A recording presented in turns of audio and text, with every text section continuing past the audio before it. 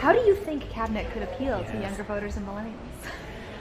I, I think it's really critical at this moment for the federal government to acknowledge the grief that a younger demographic is feeling about being locked out of housing as renters, as owners, and meet the moment. And so we can't then just pick an easy villain like today's flavor of the month, which is some international student that also wants to rent in a home here, which might be exacerbating competition for rent. We need to move from the easy villains and say, look, if we're going to make your hard work pay off, young people, we need to commit to the goal to restore affordability for all.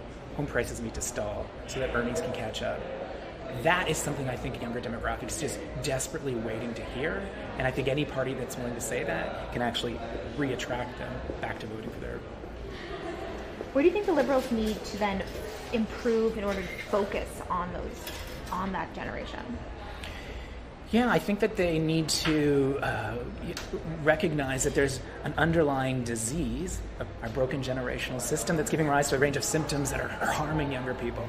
Climate change, housing unaffordability, government deficits. And so they need to so and say, hey, our country is no longer working fairly for all the generations. It's taking hard work from young people and not letting that pay off.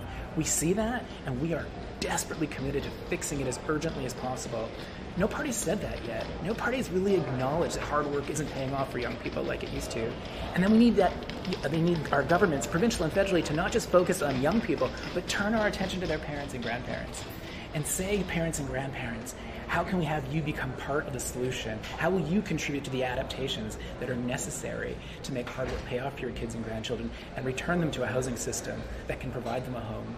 not just you, an investment in wealth, and that can return them to a, a, climate that isn't always just on fire, and that can give us government budgets that invest in them urgently and their kids urgently, not just later in the life course of your medical care and retirement.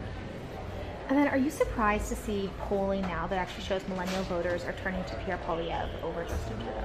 I think we need to give Mr. Poilievre credit that he is tapping into the housing grief that a younger demographic feels, which has then given rise to a disillusioned democracy. And he's tapping into that anger.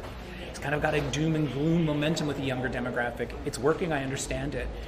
But if it gives rise to more cynicism, it has younger people opt out, and we need them to opt in with their parents and grandparents to change the system, to change our policies created decades ago in many instances, so that we can make our policies ready for the moment, which will make Canada work for all generations. Cynicism won't get us there for years it's always talked about the older voters. The older generation votes more, really sways election. Do you think we've reached a place where millennial voters have a significant impact and can make the difference?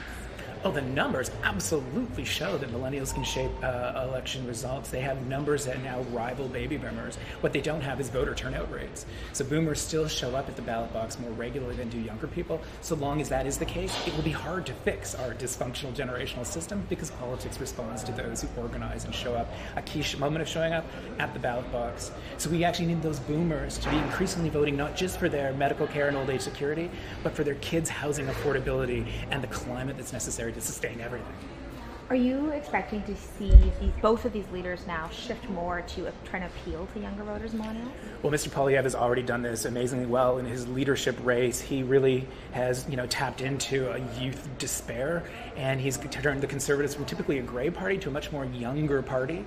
We know that Prime Minister Trudeau initially got elected in 2015 by really galvanizing young voters. So absolutely, that voter group is in play, which I think is why this theme of you know, an intergenerational contract between older and younger is actually meeting the moment because parties are recognizing the uh, frustration with younger folks. And if we can figure out quickly how to turn politics around to protect a healthy retirement while also protecting a healthy childhood, home, and planet, then parties can really win the day. And so I think the, the party that gets that narrative, along with the substantive policy change required to bring it to reality, can win the next election. And do you think that sh- for the for the Conservatives that shift is about housing? Uh, housing is at the center of everything. It's affecting immigration. It is affecting affordability. It is affecting inflation. If you're not talking about housing effectively, and not just the easy, you know, skimming, looking for the easy villain. If you're not talking about housing in a substantive way where we are a country that has become addicted to high and rising home values, I've heard Mr. Poilievre talk about a housing aristocracy in Canada now, and that's not just some company over there. That's actually those who are homeowners like me and those especially older than me who got in some years ago, and our homes have made us millionaires we need parties to be talking about that and how to address that because that unlocks our ability to fix it for their kids and grandchildren. Is there anything else that you'd like to add? That'll do. All right, great. Thank you so much. You're welcome.